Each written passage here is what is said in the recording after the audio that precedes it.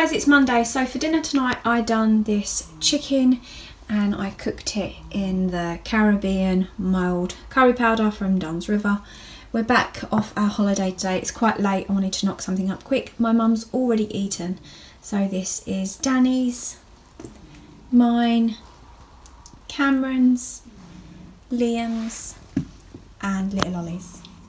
Hey guys, it's Tuesday. So my mum actually went home today. Well, she went to my brother's. Um, so yeah, I'm going to do Danny and the boys this short crust minced steak and onion pie with mash. And then I'm going to have this lamb curry with rice and I'll show you it later.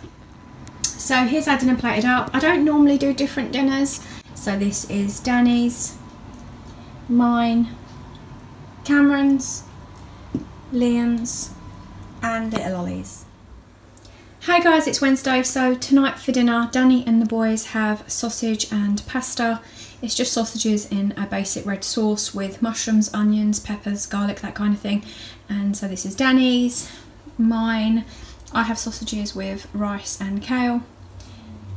Cameron's, Liam's, and Little Ollie's. Hey guys, it's Thursday, so for dinner tonight, Danny and the boys are having this um, barbecued pulled pork in rolls and some chips. And then I'm going to have these um, chicken drumsticks. They're ready to eat. They're already cooked but frozen. So I'm going to heat them back up. And I'll show you what it looks like plated up.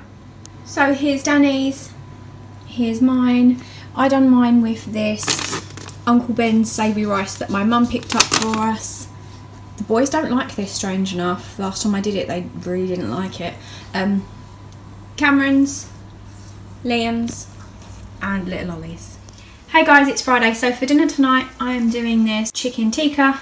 Um, I've only got one of these, so I added some extra chicken and some extra veg. It's just cooking up now. And then I'm having it with rice and I'll show you it plated up. So this is Danny's, mine, Cameron's, Liam's and then Little Ollie's.